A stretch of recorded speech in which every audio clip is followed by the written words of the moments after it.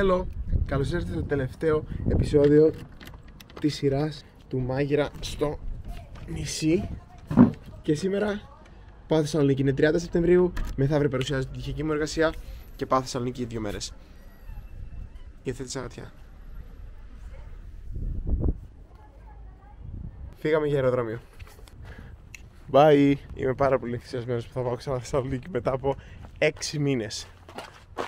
Φλοπ. Από τότε που γύρισα από Νάπολη δεν έχω κάνει και πολύ vlog, το, το βλέπετε. Είναι Οκτώβρη ουσιαστικά σχεδόν και εγώ τελείωσα τα vlog μου τέτοια μέρα τον Ιούνιο. Ε, δεν έχουν αλλάξει πολλά πράγματα, η δουλειά normal πλέον έχει πέσει. Πολλά αρχίζουν και κλείνουν εδώ στη Σαντορίνη, πάρα πολλά αρχίζουν και κλείνουν και στη Μύκονο. Πέφτει η θερμοκρασία, έχει περισσότερο αέρα τον οποίο και ακούτε λογικά τώρα στο βίντεο και δεν ακούγεται καλά. Ο κόσμος αρχίζει και φεύγει. Εμείς όμως έχουμε εν τέλει έναν μήνα. Θα γυρίσω στη Θεσσαλονίκη με το καράβι και από Αθήνα θα πάρω λεωφορείο. Ε, αυτά περίπου σε έναν μήνα από τώρα. Προς το παρόν κάνω μια σύντομη επίσκεψη. Μαζί μου έχω μόνο το backpack, κλασικά.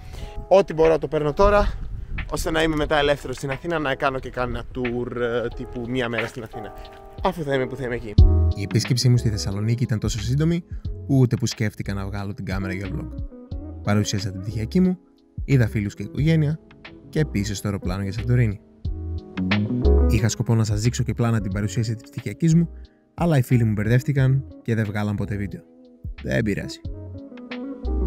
Πώς μου έλειψα το αεροδρόμιο. Πω, πω, πω, πω, πω. Ανταυτού, γυρνάμε Σαντορίνη για να σας δείξω το αγαπημένο μου μέρος για βόλτα στο νησί, το μέρος στο οποίο βρισκόταν τα σπίτια προσωπικού. Ο Όδωνας είναι ένα από τα παλαιότερα έτσι, χωριά της Σαντορίνης.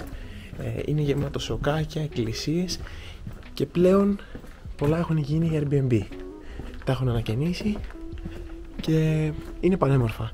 Όλα είναι καινούργια βαμμένα, έχει κάποια ερήπια από παλιά και είναι το αγαπημένο μέρος να περπατάω στη Σαντορίνη.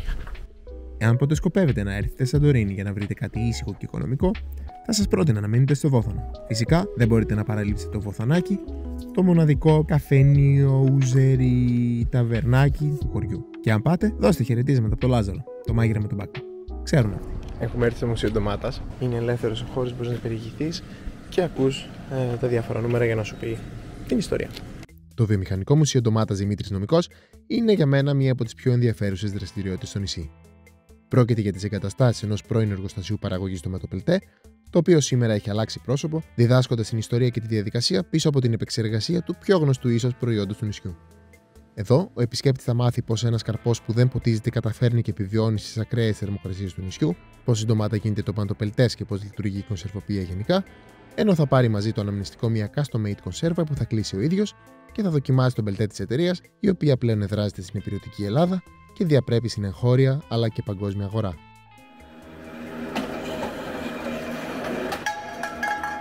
Περιμένω τώρα τους άλλους να τελειώσουν το μισό ντομάτα. Είναι η τελευταία μας εβδομάδα εδώ, Σαντορίνη. Σε πέντε μέρες φεύγουμε.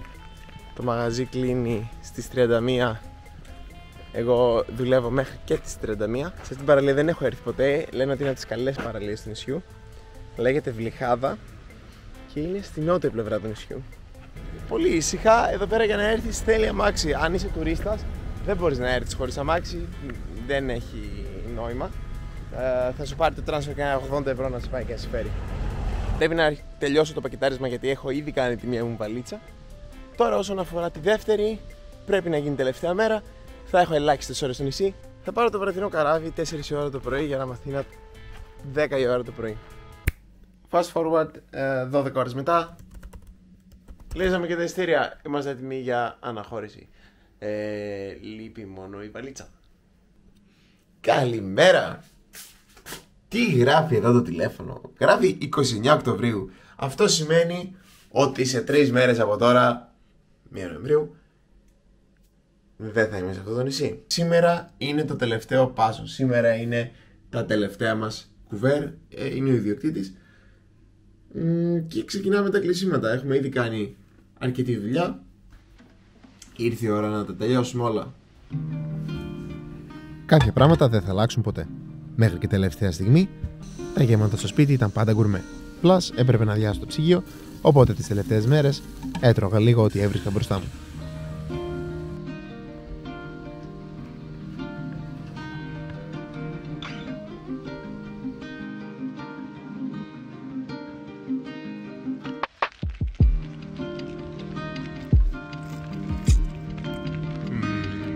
Τέλειο. Πέρα από αυτά και με εκείνα πήγε 31 Δεκάτου. Τελευταία εργάσιμη μέρα. Σήμερα κλείνουμε τα...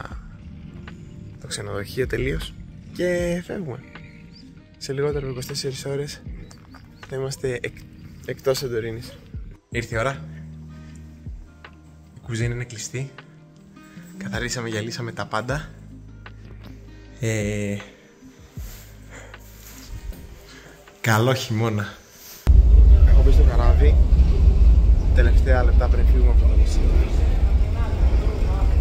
Είναι 4 ώρα το πρωί και κάπως έτσι τελειώνει αυτή η σεζόν σαν το Ο μάγειρας στο νησί φεύγει από το νησί και πάει σπίτι. Ευχαριστώ πολύ που παρακολουθήσατε τη σεζόν. Να είστε όλοι καλά, φιλιά πολλά και τα λέμε.